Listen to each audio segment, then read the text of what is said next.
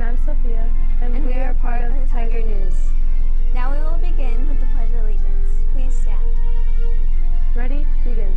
I pledge allegiance to the flag of the United States of America and to the republic for which it stands, one nation, under God, indivisible, with liberty and justice for all. Thank you, Tigers. You may be seated. Stay tuned for the next morning announcements.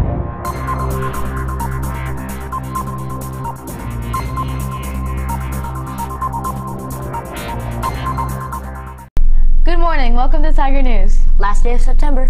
Yeah, and it's super hot. Think it's time for some cooler temperatures. I drink a lot of water. How about you? Same. It's just way too hot to play softball in this heat. Well, we were both playing softball this week, and yes, we need some cooler temperatures. But the heat didn't change that Tigers ruled on Tuesday. Yep, both boys and girls won against Colton Middle.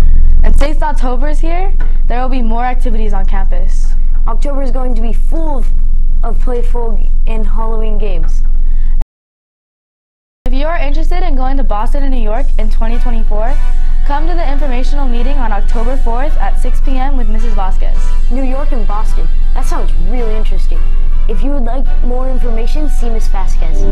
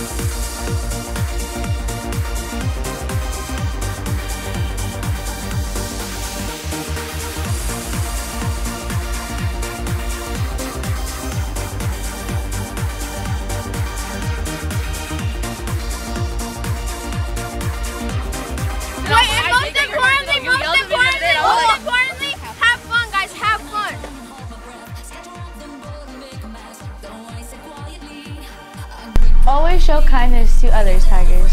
See you next week. Have a great weekend. Stay cool.